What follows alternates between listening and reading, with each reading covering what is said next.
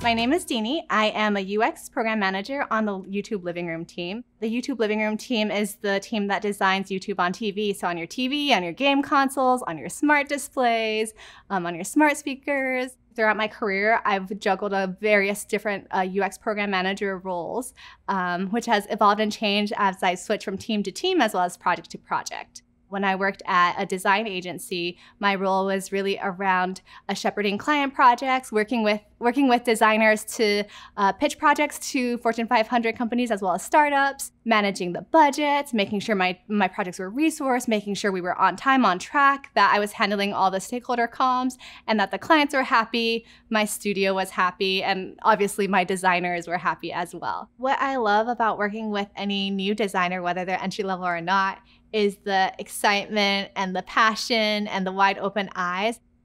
They don't have the biases of being in that team for a really long time or or maybe even being in that industry for a very long time. So some things where a designer who's been on my team for a year or two will be like, you know, we done that, we tried that, doesn't work. This new designer will come up and they're like, but have we tried this? And have you tried that? And have you tried that? And I what I really appreciate is the open ideas. And I think that's a great strength that um, new entry level designers, as well as new designers to any team, can really bring.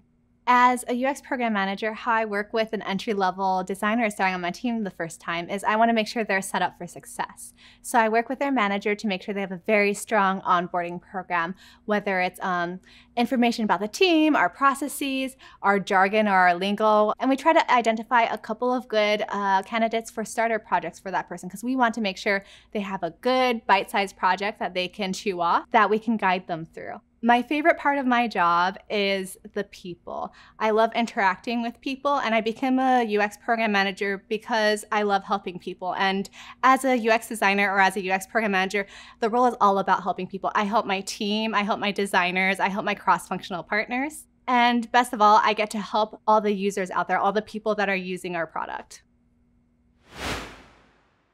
Congratulations on finishing this course from the Google UX Design Certificate. You can access the full experience including job search help and start to earn your certificate by clicking on the icon or the link in the description below. Watch the next video in the course by clicking here and subscribe to our channel for more from upcoming Google Career Certificates.